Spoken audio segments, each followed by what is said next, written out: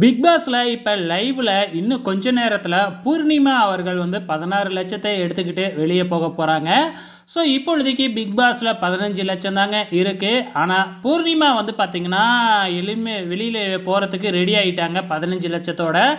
இப்படி பூர்ணிமா வெளியே போகிறது நல்லாவே தெரிஞ்சு போச்சு. இருந்தாலும் பிக் பாஸ் எதுக்காக ஒரு லட்சத்தை இன்க்ரீஸ் பண்ணினாரு அப்படிங்கிறது தெரியல. பூர்ணிமாவும் மாயாவும் சேர்ந்துக்கிட்டு எங்களுக்கு ஒரு பாட்டு போடுங்க.